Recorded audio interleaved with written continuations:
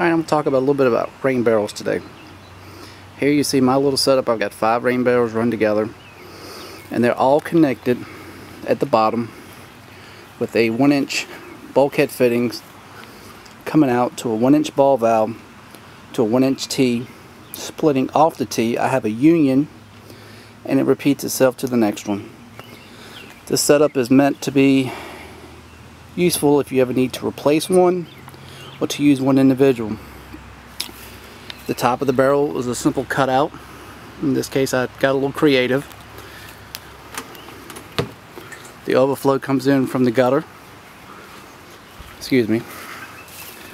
The overflow comes out the back of this one particular barrel. Also with a bulkhead fitting and runs up with the tube. To give you an idea of the pressure, um, this is only one barrel with pressure coming out of one.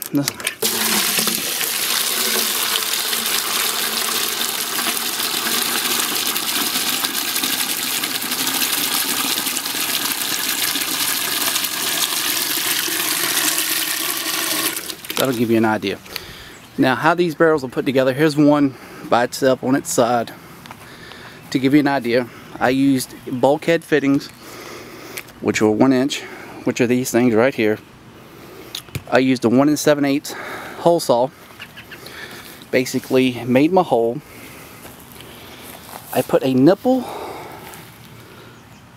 from the bulkhead fitting to the ball valve, another nipple, then a T.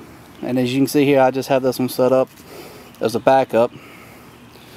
And to show you the one barrel that does have the overflow feature, and the silicone is only on this one because I experimented.